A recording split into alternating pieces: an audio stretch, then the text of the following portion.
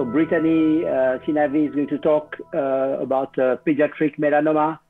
Um, so, uh, Brittani, it's up to you. Thank you. Good morning, everyone. Thank you for having me today. Um, today, I'm going to talk a little bit about uh, pediatric melanoma and how it differs from adult melanoma. Um, for background, I am um, I am a pediatric oncologist, and so I take care of children with all forms of cancer, but specialize in um, in patients, young patients with uh, melanoma and skin cancer.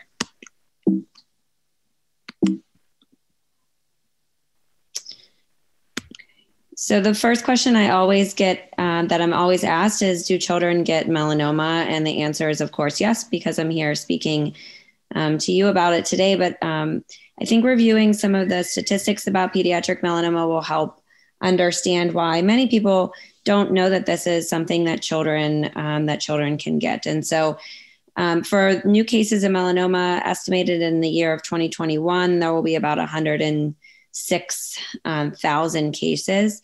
The percent of new melanoma cases by different age groups, so in zero to 20 years of age, that'll make up less than 1% of all cases of melanoma, accounting for about 420 cases. When we move into the older age bracket of 20 to 34 years of age, um, that'll make up about 5% of cases, um, accounting for about 5,000 cases. And just, um, I should take a step back and define this AYA term. So, in pediatric um, oncology, we often take care of adolescents and, and up into the young adult age group. And the age bracket of 15 to 39 years of age is often termed the adolescent and young adult age group. So I'll be referring to that age bracket a lot um, with my pediatric cohort. So, to compare these numbers um, for new cases of all types of cancer that we see in children, zero to 14 years of age, we'll see about 10,500 cases. So, you can see a lot fewer cases of all cases of pediatric com- cancer compared to all cases of melanoma alone.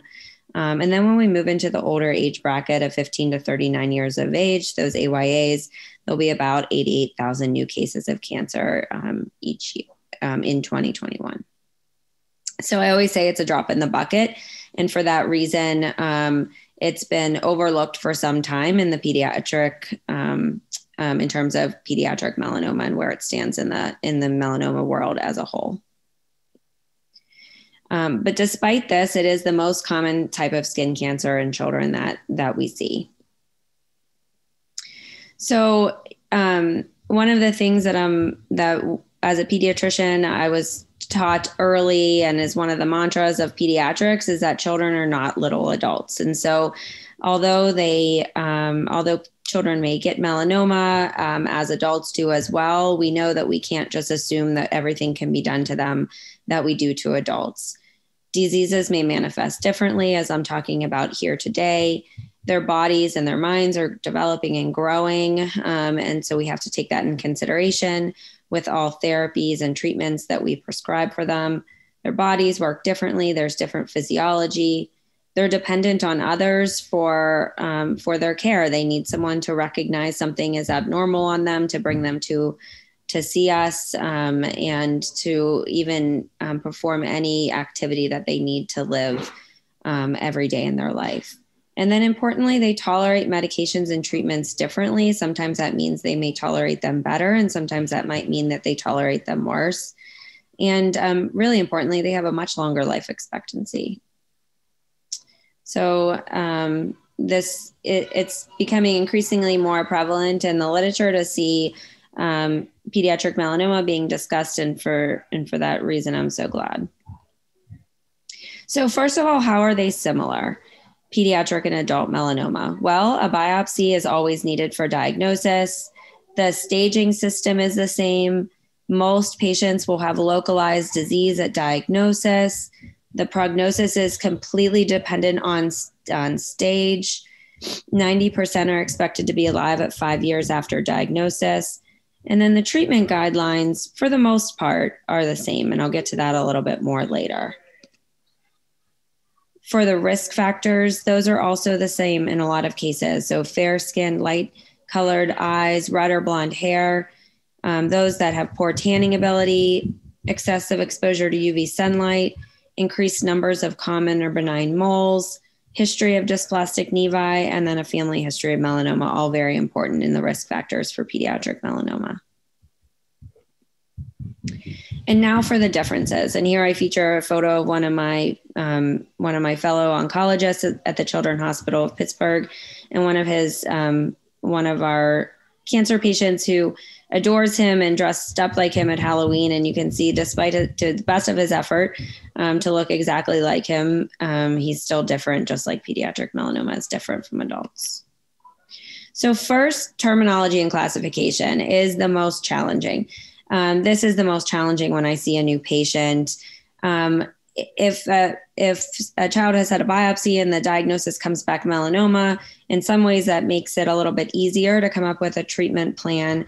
But in a lot of cases, given their age, the diagnosis of melanoma won't be given, and there'll be a lot of other terms on the pathology report atypical melanocytic tumor, atypical melanocytic tumor of uncertain malignant potential, atypical melanocytic proliferation, and so on and so forth.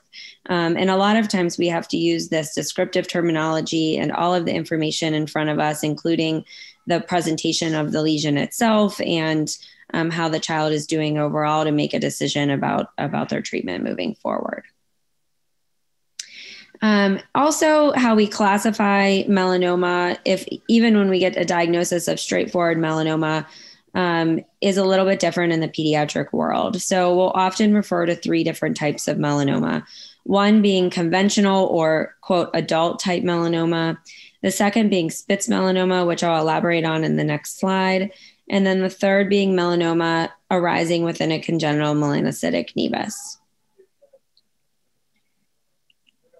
So, a little bit about um, Spitz melanoma. Dr. Sophie Spitz was an American pathologist who discovered in 1948 what she termed juvenile melanoma, um, or children that were having biopsies of skin lesions um, for which underneath a microscope appeared a lot like melanoma, but overall seemed to be having better outcomes than than most adults do with melanoma.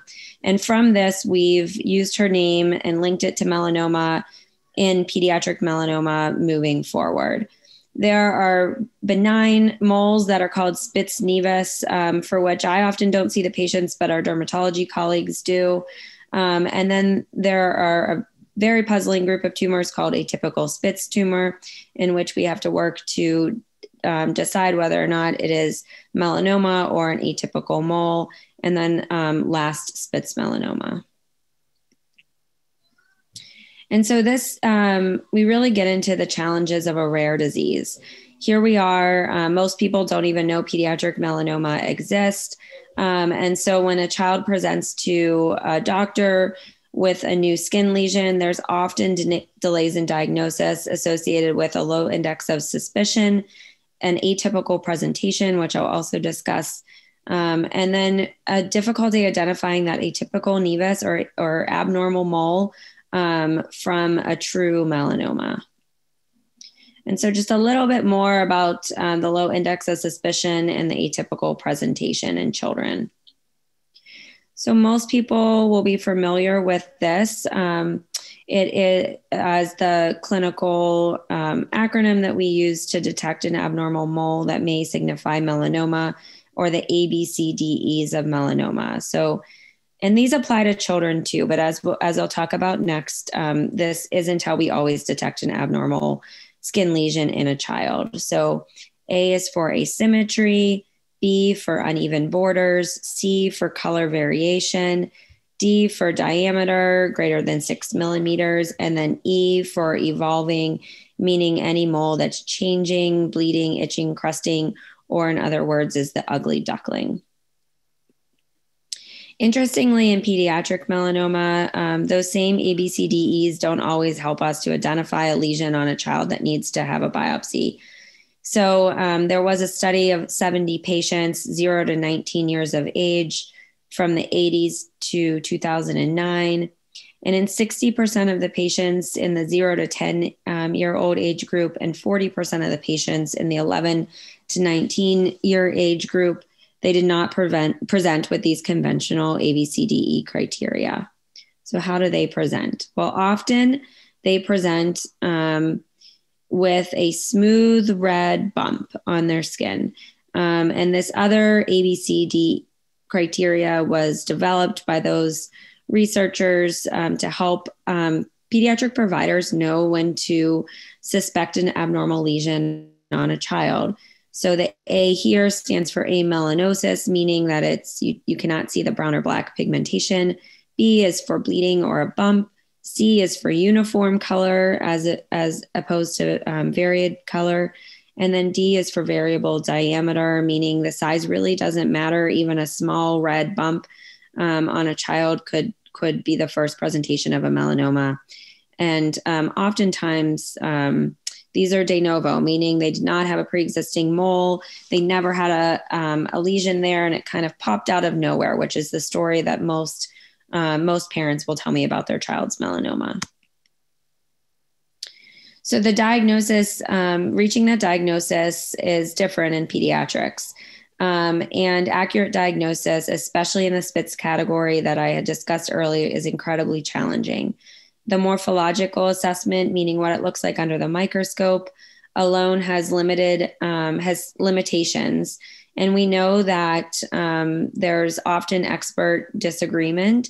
If the same, um, if similar experts both look at the same lesion, they might arrive at a different um, diagnosis, which is a real problem for um, for us um, trying to develop a treatment plan for the patient.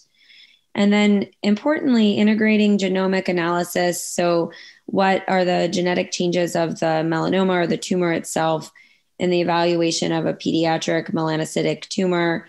Can optimize the diagnostic accuracy and provide important prognostic information for the treating physician, such as myself. But I talk about this with all families. There's not one molecular marker in a tumor. There's yet to be that holy grail that will identify which um, which child with pediatric melanoma will have a poor outcome and which children with pediatric melanoma will do just fine to, um, regardless of our treatment strategies. Um, and then interestingly, children and adolescent, adolescents often present with thicker primary tumor, um, tumors than do adults. So they have more advanced T stage by classification, and they'll more frequently have um, disease spread to their lymph nodes at the time of sentinel lymph node biopsy.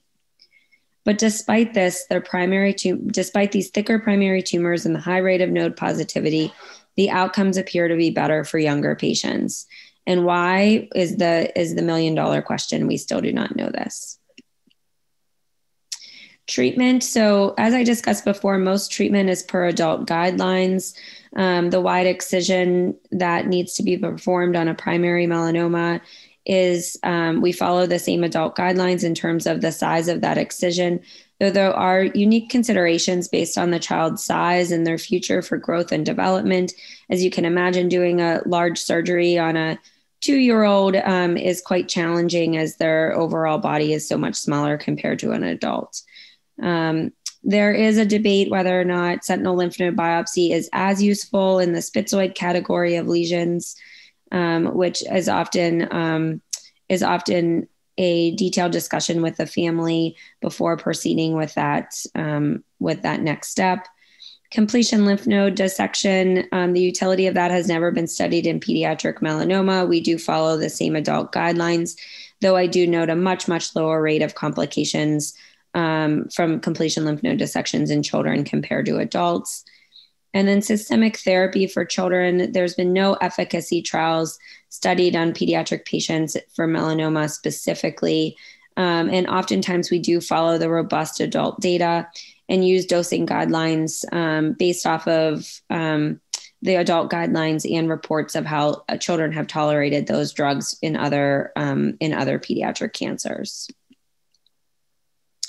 And with that, I'll leave you with our melanoma program. Um, we are available um, through the Hillman and the um, Children's Hospital Pittsburgh website. Lauren, who you heard from earlier today, takes in all referrals, and we're really happy to see um, any child with a melanocytic tumor, whether or not it's melanoma or it might be melanoma um, or there's any worry for that um, to help sort through this difficult diagnosis and come up with the best treatment plan. And again, it takes a it takes a village to take care of these patients. um, really thank all of the support from patients and families like yourself um, in providing in providing care for these patients. In the future, the future is bright with research and collaboration. Um, and I really hope that um, in speaking to you all and speaking to other groups of of providers and individuals that we can improve the recognition, diagnosis, prognostication, disease understanding, and treatment options for children with melanoma um, to ultimately improve um, their outcomes. And with that, I'll thank you.